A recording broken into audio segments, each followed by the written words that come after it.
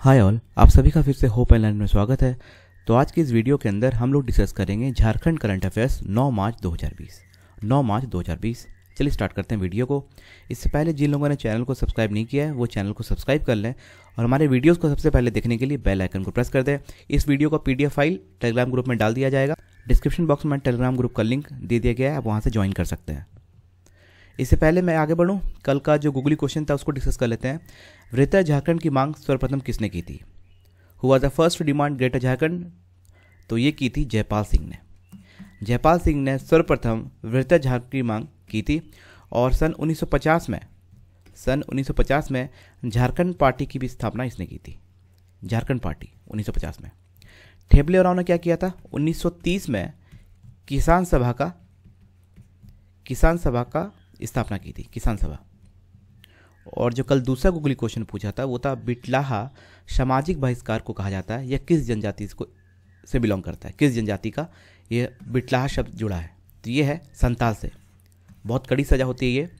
किसी व्यक्ति को अगर यौन संबंध से आता है दोषी पाया जाता है तो उनको ये को ये सज़ा सुनाई जाती है, बहिष्कार कर दिया जाता है समाज से, उसको कहते हैं बिटलाहा।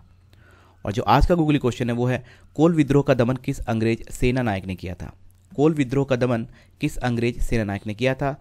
विलिंगटन, विल्किंसन, चैपमैन या फिर मेयो?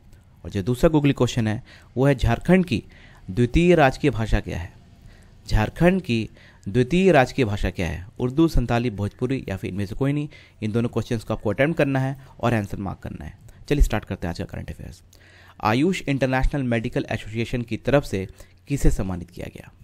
सबसे पहले तो आपको यह जानकारी होनी चाहिए कि आयुष के अभी मिनिस्टर कौन है? उनका नाम है श्री यशोपद नायक। श्री यशोपद नायक, आयुष का आपका फुल फॉर्म हो गया। आयुर्वेदिक, योगा, यूनानी, सिद्धा और होम्योपैथी।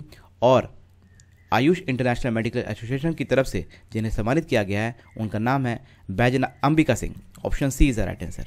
Ambika Singh को आयुष इंटरनेशनल मेडिकल एसोसिएशन की तरफ़ से सम्मानित किया गया है। यहाँ पे कुछ और डिटेल्स दी गई है। आप देख सकते हैं। सम्मानित होंगी डॉक्टर अंबिका सिंह। खेलो इंडिया नेशनल कोचिंग कैंप के लिए कितने झारखंड महिला हॉकी प्लेयर का चयन हुआ है?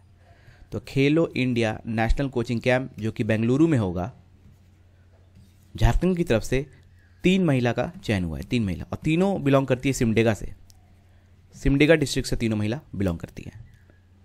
भारतीय लोक कल्याण संस्थान की ओर से सात दिवसीय नागपुरी नृत्य कार्यशाला की शुरुआत कहाँ की जाएगी? सात दिवसीय नागपुरी नृत्य कार्यशाला की शुरुआत कहाँ की गई है? तो ये की गई है रांची के अंदर। रांची के अंदर भारतीय लोक कल्याण संस्थान की ओर से सात दिवसीय नागपुरी नृत्य कार्यशाला की शुरुआत की गई है। लक्ष्मी हेम्ब्रम किस खेल से संबंधित है? तो जिस तरह दीपिका कुमारी आर्चरी मतलब कि तीरंदाजी से संबंधित है, उसी तरह लक्ष्मी हेम्ब्रम भी ऑप्शन सी तीरंदाजी से संबंधित है। Option C is the right answer राष्ट्रीय एकता शिविर मतलब कि नेशनल यूनिटी कैंप का आयोजन कहाँ किया गया है? नेशनल यूनिटी कैंप का आयोजन रांची के, रांची में नहीं, बल्कि हजारीबाग में किया है। ऐसे तो अधिकतर क्वेश्चन का आंसर रांची होता है, लेकिन इस बार आपको ध्यान रखना है नेशनल यूनिटी कैंप का आयोजन हजारीबाग के अंदर किया गया। Option C is the right answer तो ये था आज का वीडियो। मिलते हैं आपसे कल। Thank you watching have a nice day